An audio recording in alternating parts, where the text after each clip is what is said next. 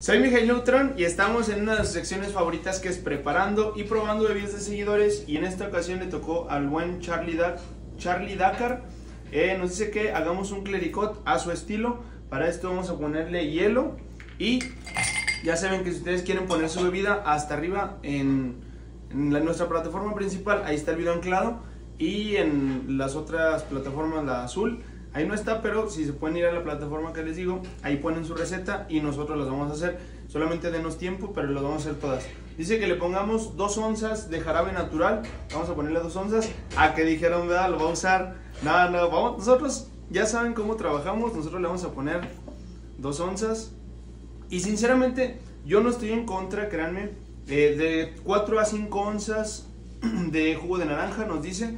Yo no estoy en contra de de usar Jigger. ¿Por qué? Porque es, es estandarizar, pero sinceramente yo considero que, o sea, no está mal, pero cuando yo llegué a empezar a hacer videos y cuando yo pegué, pues yo siento que sirvió mucho el hecho, vamos a revolver y le vamos a poner, dice que un cuarto de manzana y vamos a rellenar con vino tinto. Este, yo no tengo ese, pero pues eh, nomás es vino tinto.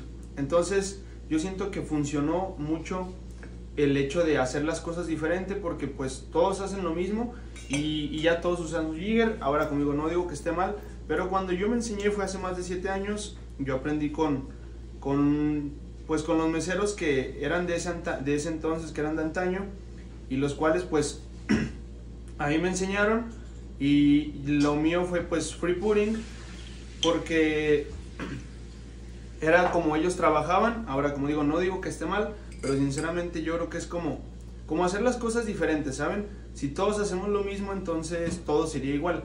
Entonces si quieres destacar o quieres diferenciarte, yo creo que tienes que hacer las cosas diferente. Así nos quedaría nuestro clericot al estilo de Charlie Dakar.